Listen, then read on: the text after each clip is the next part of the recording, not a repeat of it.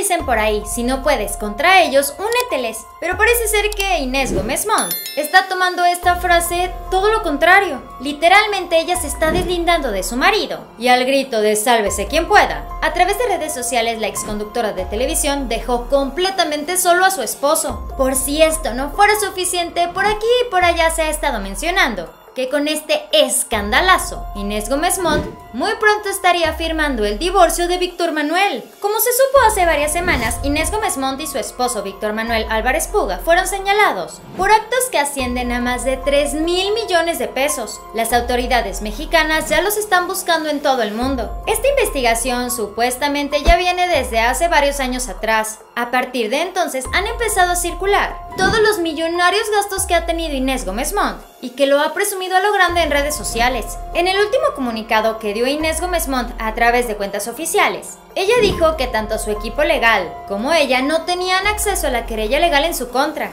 Sin embargo, ella y su esposo están quién sabe dónde, porque se asegura que les dieron el pitazo de que ya los estaban investigando. Varias fuentes aseguran que ellos se encuentran en alguna parte de los Estados Unidos. Inés Gómez Montt, su esposo y el hermano de su esposo son los principales sospechosos en estos actos, aunque conforme pasaron los días la lista de involucrados aumentó. Para justificarse a sí misma, Inés Gómez Montt dijo que jamás en la vida ha visto ni ha tenido los 3 mil millones de pesos juntos. Esto podría ser cierto, pero es muy poco creíble ya que como lo podemos constatar, ella ha comprado bolsas de casi un millón de pesos, botas exclusivas de 350 mil pesos, y a ver, ¿quién en su sano juicio gastaría 250 mil pesos en una sudadera? ¿Que no precisamente es para eso, para sudarla? Esta mujer tan fashionista nos llenaba sus redes sociales de sus lujosas prendas de diseñador, pero eso no fue todo.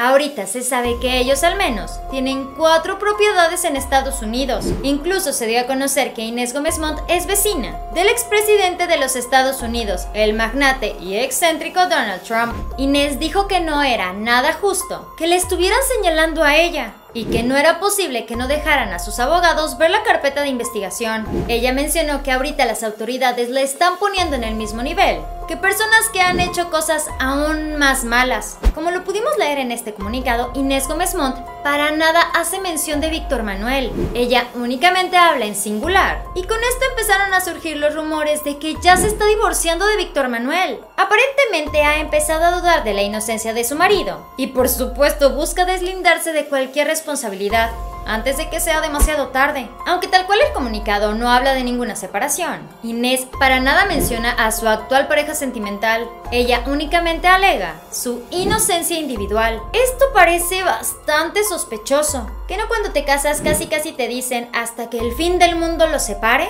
Parece ser que Inés Gómez Montt no leyó las letras chiquitas de su acta de matrimonio. Esto fue Famosos de Cerca. Dale like a este video, suscríbete y síguenos en Facebook. Espero que tengas un excelente día. Nos vemos muy pronto. Bye.